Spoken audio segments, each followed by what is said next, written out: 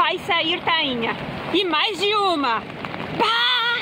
Se ele tiver possibilidade de puxar tudo aquilo que eu vejo pular, não sei não quantas tem. Olha lá ele procurando segurar o máximo que pode da tarrafa.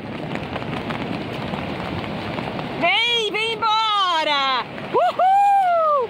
Festa! Alegria! Muita satisfação em saber que as tainhas vieram. Bom, eu vi, mas ainda que vieram duas. Nessa hora a tarrafa de argola faria diferença, né? É. No rufo às vezes acontece isso. Ainda mais que aqui são duas situações. Às vezes a tainha nem rufa e nas outras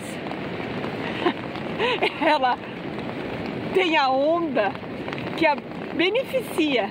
É lógico que eu estou acompanhando o pescador outra vez.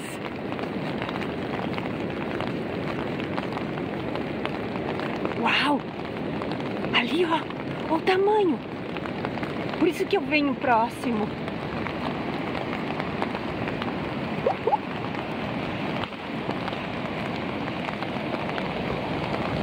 Lindas,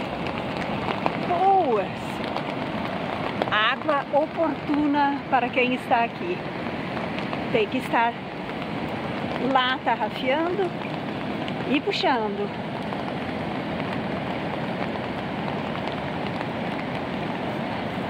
Tá né? Tá. Tem mais cinco lá no carro. Ah, já tinha pego! Peguei mais cedo. Ah, Mas daí a onda tava muito alta e eu joguei a roupa. sim. Fez certo em voltar. Claro que ele paneia para retornar com rapidez. Imagina se vai perder tempo.